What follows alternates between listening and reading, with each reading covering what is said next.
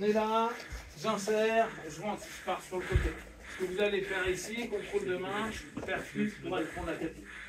Ça, c'est assez facile à faire. Comme ça, ça le fait descendre. Alors vous pensez, hein, ça c'est sur une mesure sportive, vous êtes là, je rentre, j'insère, je tente d'aller direct. Si ça ne marche pas au niveau du corps, je tape au niveau genou. D'accord? Ça me permet de descendre. Si on est dans un cadre urbain, bah, on, on pense bien, je suis là je peux mettre un peu de là je perds tout partir. Je ne prends pas la. Mon but pour moi c'est juste là, là, prendre le En gauche. ok De la guillotte, je vais descendre un peu sur l'avant et je vais tourner. D'accord? Je fais plus de guillotte là, qui est un peu moche. C'est en trinqué, bah c'est une guillotte. Quoi. Là je peux avoir et les cervicales et le, euh, le cou. Et là je tourne. Et à force de.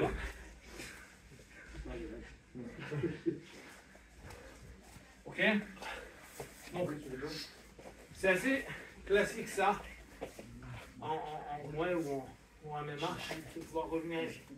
Le problème, c'est que souvent, vu qu'on ne contrôle pas là, c'est euh, le gars va pas descendre. Par contre, quand je tape là, voilà, ça me permet de l'avoir. Je tire un peu sur l'avant dans un premier temps pour lui mettre du poids de ce côté-là. Après, je tourne. Hop, reviens. Et je ramène. Là, c'est une grosse clé de. Ok Je sais pas trop. Allez, Jimmy.